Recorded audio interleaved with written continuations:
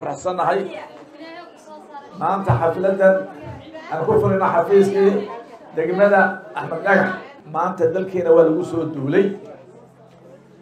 Waa lagu soo duulay mar allahi markii la maqlay. Somaliland baa la ictiraafiya ah oo etoobiya ugu horeynaysa ayaa muuska la soo jabsaday jabuutigii aan midka badan ka hadlay aan waan iska daaya macawisaha iyo baasaboorada. Ah qarannimada siisanaysaan iyo gacal ah. Qarannimada gacal laguma iibsadee lama weydasado. De haddi hadduu ka yina naga guursanayna waan u codayna ka waran.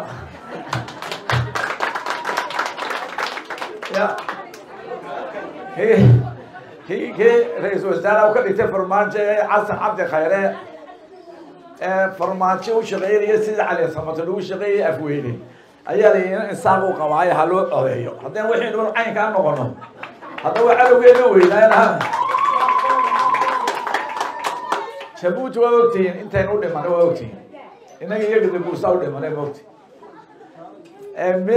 ninkii u horeeye jabuuti ka wakiil uga noqday ee galay baarlamaanka faransiiska nin wuxuu ahaa reer nuur oo jir barkad baa la odhan jira wax alla waxa baahan mushtari joogaan waxaa ahaan jira reer sheekh saxaab ahaan jira waad ogtihiin oo ninkii de maxamuud xarbi ninkii la dhintay waxaa nin inaga dayaalada la wadi la socday inagii u dhimanay maanta jabuuti waxbaynu ka haysanaa waxba kuma haysano. Reer awdal waxbay ku haystaan waxba kuma haystaan haddana wuxuu yiri reer awdale halkana waa naga idka kaxaysano jabuuti waa magaalo reereed halka degantiina awdalna dabgeliya buu yiri dabgeliyo jabhad buu keenay. Jabhad ayuu keenay. Waa reer beeraley way ka caqli badan yihiin waxay dhahan anagu aada dhulkayga dabgelin mayno horta nin waa ninka. Nina waa ninkan de aynu aqoon dariska bay ahayn ee la yidhaha xaaji sheekh maxamuud maynu isnaqaana daris maynu nahay. Iminka report la soo saaray oo adduunku soo saaray laba kun iyo labiyo tobankii markii horisu madaxweyne noqday ilaa maanta dib loo doortay. Toddoba boqol oo milyan buu ayu ayuu musuqmaasuqay toddoba boqol oo milyan. Reerkiisa oo dhan wada haddaa aragtay imarka meesha nairobi idhaha gebiga iyagaa iibsaday. Moolkii u weynaa bay ka samaysteen magaalada sanina ilmaadiriya lacagtii lagu taragay lagu caawinayay in dalkan wax lagu dhiso ciidamada lagu dhiso wuu leexsaday horta raggaas waa inoo ah. Maanta dalkeena saasay ugu soo duuleen. Dhiiggeeni baa la xalaashaday. Sidii sideed iyo siddeetankii laakiin sideed siddeetankii dee rag baa jiray. Dad baa jiray talinayo danta eegiye maanta maynu guurta haysanaa ma haysanaa maanta guurta maanta maynu baarlamaan haysanaa baarlamaan ma haysana. Maanta cidlee taagna waxaynu diinkii baynu nahay bilaa qolofta ahe ilaahay oo na soo saar qolof baan leenay subxaana wa tacala ilahay oo na soo saar marka waxay yeelaysaa yaani u wadaad shaksiyaad lacag soo qaadanaya oo leh waxaan hayaa dad baan hayaa ma xoolaatiin ma layda xaraashaya ma nin baa maalin qaadin siisanaya. Marka waa barakaysantihiin isku family baynu nahay reer somaliland waa family qabiilba manihiina waa family qoys baynu nahay. Qofkii maanta ina kala qaada ayaa ka xun maxamed siyaad baraadkii ina kala qaadqaaday kaas iskay raaciyey kaasaa ka xun ka ina kala qaadqaada maanta. Waxaan leenahay qodan le hadduu soo bixi waaye hebel dagaal ma dhacayana. Anaa soo baxayo badhaana dhacaya insha allahu tacaala. Khayr khayr baa dhacaya insha allahu tacaala. Nabadiina ku seexda cid idinka cinsa mada mar laba jeer baa qaxdeen markii faqashta iyo markii dee habra berigaasna waa in nabadda ka shaqeeyey taasna hayloobina berigaa nabad waa in ka shaqeeyey. Mar dambe qaxi maysaan innaga laynagu soo qaxi doona dagaalada qabiilka ayaa dib u soo cusboonaaday dhowrkii sane ee la soo dhaafay. Inkastoo soomaalidu ay weligeedba qabiil isu dilaysay haddana mar dhexe ayay xoogaa hoos u dhaceen dhibaatooyinkan.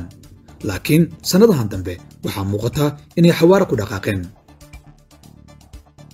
Gobollada galgaduud mudug shabeellaha hoose iyo bay ayaa dhammaantood sannadkan gudihiisa waxaa ka dhacay dagaallo qabiil oo ay dad badan ku dhinteen. Qaarkood weli xal rasmi ah lagama gaarin. Waxaa la yidhahdaa qabiilada soomaalidu toos uma heshiiyaan ee waanwaantoodu xabbadda labaad ayay dahaysaa. Micnaheedu maahan inaan la xallin karin mushkiladdan laakiin weli ma isweydiisay yaa isku xil saaray inay boqolkiiba boqol soo afjaraan tixanaan dalku waxa uu qaatay nidaam federaal ah taasoo macnaheedu uu yahay in deegaan walba uu ka jiro maamul goboleed. Waxaa kaloo jirta wasaaradda arrimaha gudaha iyo dib u heshiisiinta ee dowladda federaalka ah. Dhammaantood waxay ka shaqaynayaan mashaariic afka baarkiisa iyo xaflado laga dhaxlo sawirro qurxun. Wax dhab u heshiisiin ah oo xididada loogu siibaayo tixanaha dagaalada qabiilka miiska lama soo saarin afar labaatankii sane la soo dhaafay. Mar walba waxaa la qaataa heshiisku meel gaar ah. Waxaa arrimahan si dawli ah ugu milmay dad xoolodoon ah oo beddelay kaaba qabiiladii waxaa aad la isugu raacsan yahay inay colaadahani u baahan yihiin madax soomaaliyeed oo xalkoodu u dhabka yahay. Afarta sano ee la doorto madaxda heer goboleed iyo kuwa heer federaal midkoodna shan boqolkiiba oo wakhtigiisa ka mida ma geliyo soo afjaridda dagaalada qabiilada. Qaarkoodna waxaa wakhtigu ka dhammaadaa iyagoo aan hal maalin daaweynin boogaha keena colaadaha qabiilka. Cagsigeeda magaalada muqdisho ee caasimadda soomaaliya oo ay dowladda dhexe fadhiso waxaa xoolihii ummadda lagu gubaa xaflado joogta ah oo laga dhaxlo hadalla marmarka qaar sii kala fogeeya bulshada iyo sawirro gobollada qaar argagixisada ayaa qabiilada isku dirta si ay iyagu u noqdaan xalka loo baahan yahay ee wax kala dhihi kara labada qabiil. Taas mar waxay ku muujinayaan baahida loo qabo inay sii joogaan deegaanka. Marna waxay muujinayaan inaysan jirin cid aan iyaga ahayn oo ahmiyad siinaysa nabadda beelaha. Dowladdu waa inay halkan baraarug ka qaadataa. Sanadkan dagaalada qabiiladu maadaama ay bateen madaxda soomaaliya ee heer federaal iyo kuwa heer maamul goboleed.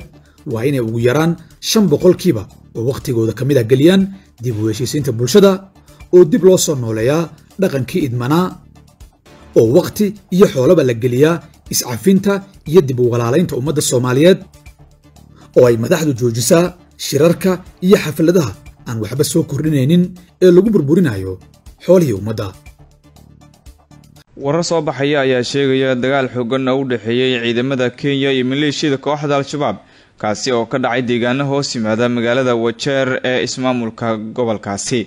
Dagaalkan ayaa yimid kadib markii kolonyo ciidanka kenya oo maraya deegaano hoos yimaada magaalada wajeer ee markaasi ay weerar ku qaadeen. Dagaalamayaasha al-shabaab halkaasina uu ka bilowday dagaal aada xoogan.